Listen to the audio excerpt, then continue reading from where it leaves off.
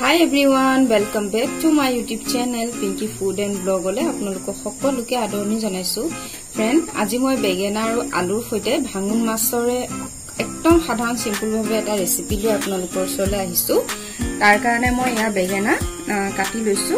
দীঘল দীঘলকৈ কাটি মই অলপ টাইম পানীত তিয়াই থৈছিলো। লগতে লৈ লৈছো জোখমতে আলু যিখিনি ধুই লৈছো ভালকৈ।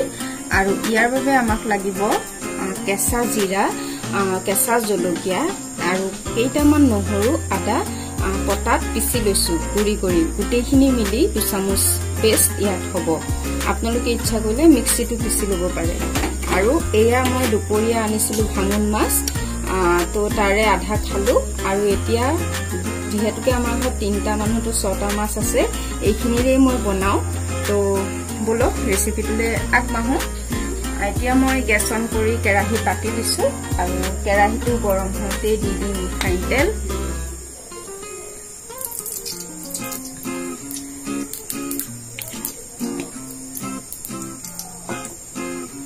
আৰু ভালকৈ কেৰাহীটো চাৰিওফালে ঘূৰাই দিম। ফ্ৰেণ্ড এতিয়া তেলটো দি পেলাই এইফালে মই বেঙেনা আলুখিনি দিম। হালধি নিমখ যিখিনি ধুনীয়াকৈ ফ্ৰাই কৰি ল'ব লাগিব।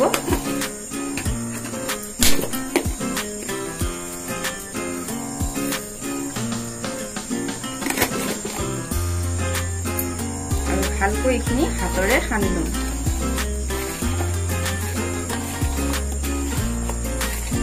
হালধি নিমখ ভালকৈ মিক্স কৰি ললো। এতিয়া মই তেলতে দি দিম। অলপ অলপকে যেনেকৈ আমি বেঙেনা আলু ফ্ৰাই কৰোঁ ঠিক তেনেকৈ অলপ এইখিনি হাফ ফ্ৰাই কৰি ল'ম মছলাৰ লগত কাৰণ আকৌ ভাজিব লাগিব। এই বেঙেনা আৰু আলু তৰকাৰীখন খাই সঁচাকৈ খুবেই ভাল লাগে। আপোনালোকে যদি এনেকৈ নাই খোৱা এবাৰ খাই চাবচোন। মই এইখিনি ফ্ৰাই কৰি লওঁ। তো ফ্ৰেণ্ড বেঙেনা আলুখিনি ধুনীয়াকৈ মই ফ্ৰাই কৰি ল'লোঁ। আৰু এতিয়া তেলৰ পৰা উঠাই ল'ম। ঠিক এনেকৈ মই বাকীখিনিও ফ্ৰাই কৰি ল'ম তাৰপিছত আকৌ ঘূৰি আহি আছো। তো ফ্ৰেণ্ড বেঙেনা আলুখিনি ফ্ৰাই কৰা হৈ গ'ল। এতিয়া মই ইয়াতে দি দিম পুৰণৰ ভিতৰত অকণমান জিৰা আৰু এটা তেজপাত। আৰু এই ৰেচিপিটোত পিঁয়াজ মই ব্যৱহাৰ নকৰোঁ আপোনালোকে ইচ্ছা কৰিলে কৰিব পাৰে আৰু বেঙেনা আলুৰে এই ৰেচিপিটো মই বেংগলী ঘৰত বিয়া হৈ খাবলৈ শিকিলোঁ। আৰু এই ৰেচিপিটোত বেংগলী মানুহে ৰচুন মানে নহৰু আৰু পিঁয়াজ ব্যৱহাৰ নকৰে মই কিন্তু অকণমান নহৰু দি দিছোঁ। আৰু এতিয়া এইখিনি দি দিম।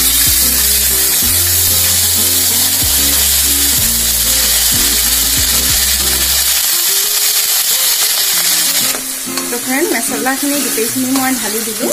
আৰু এতিয়া মই দি দিম ইয়াতে সোৱাদ নিমখ। আৰু নিমখটো চাই চিতি দিব লাগিব কাৰণ কৰি মই বেঙেনা আৰু আলু দিছিলোঁ। আৰু হালধি দি দিম আন্দাজ কৰি। আৰু ভালকৈ এইখিনি ভাজি ল'ম তো ফ্ৰেণ্ড ধুনীয়াকৈ মছলাখিনি ফ্ৰাই কৰি আছোঁ মই। আৰু এতিয়া ইয়াতে দি দিম বেঙেনা আৰু আলু। এইটো একদম গৰমত পাতলা তৰকাৰী হ'ব। বেছি একো ব্যৱহাৰ কৰিব নালাগে একদম সাধাৰণ চিম্পুল তৰকাৰী। আগতে এনেকৈ বেঙেনাৰ সৈতে মাছৰ তৰকাৰী খাই জনাই নাছিলোঁ। খাবলৈ শিকাৰ পৰা ইমানেই ভাল লাগিলে যে সেইকাৰণে ভাবিলোঁ আজি ৰেচিপিটো আপোনালোকৰ লগতো শ্বেয়াৰ কৰোঁ। আপোনালোকে টুকুৰা মাছ দিও বনাব পাৰে। মই সৰু সৰু ভাঙোন মাছ আনিছিলোঁ। দুপৰীয়া খালোঁ কেইটামান আৰু এতিয়া ৰাতি বনাই আছোঁ। আৰু ভাবিলোঁ যে এই ভাল লগা ৰেচিপিটো আপোনালোকৰ লগতো শ্বেয়াৰ কৰোঁ। ভালকৈ মছলাখিনিৰ লগত মিলাই অকণমান টাইম ফ্ৰাই কৰি ল'ম। ফ্ৰেণ্ড ধুনীয়াকৈ মছলাৰ লগত বেঙেনা আলু ফ্ৰাই কৰা হৈ গ'ল। এতিয়া মই ইয়াতে ব্যৱহাৰ কৰিম গৰম পানী।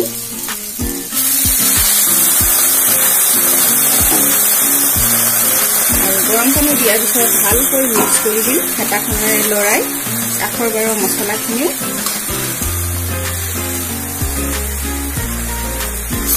ইয়াতে মই আৰু অকণমান পানী দিম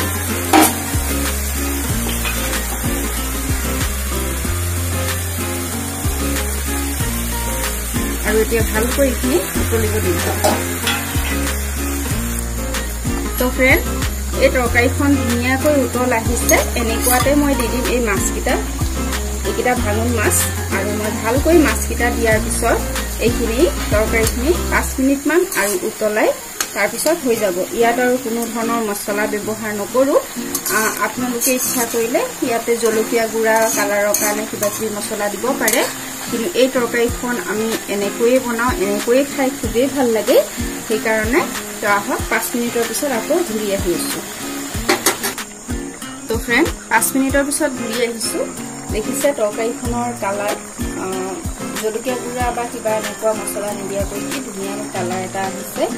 আৰু গৰমত এনেকুৱা কালাৰেই ভাল লাগে খুব বেছি ৰঙা কৰি জলকীয়া গুড়া চুৰা দিয়া তৰকাৰীবিলাক খাই একেবাৰে ভাল নালাগে। আৰু এতিয়া আমাৰ তৰকাৰীখন ৰেডি হৈ গ'ল আৰু গেছটো মই বন্ধ কৰি দিছোঁ। কিন্তু গেছৰ তাপটো গৰম আছে কাৰণে অলপ অলপ উতলি আছে আপোনালোকে সেইটো লক্ষ্য কৰিছে। আৰু একদম সাধাৰণ চিম্পুল বেঙেনা আৰু আলুৰ সৈতে বনোৱা এই মাছৰ তৰকাৰী ৰেচিপিটো যদি আপোনালোকৰ ভাল লাগিলে তো প্লিজ এটা লাইক কৰিব আৰু ভিডিঅ'টো শ্বেয়াৰ কৰি দিব আৰু কমেণ্ট বক্সত কমেণ্ট কৰি জনাবলৈ একেবাৰে নপাহৰিব যিসকলে নতুনকৈ চেনেলটোলৈ আহিছে ভিডিঅ'বিলাক চাই যদি ভাল লাগে প্লিজ চেনেলটো ছাবস্ক্ৰাইব কৰি ল'ব আৰু কাষতে থকা বেল আইকনটো প্ৰেছ কৰি দিব তেতিয়া আহিবলগীয়া ভিডিঅ' নটিফিকেশ্যনসমূহ পাই যাব। আজিলৈ তেনেহ'লে আহিলোঁ খুব সোনকালে অন্য এটা ৰেচিপি আকৌ নতুবাটো ব্লগ লৈ আহি আছোঁ। বাই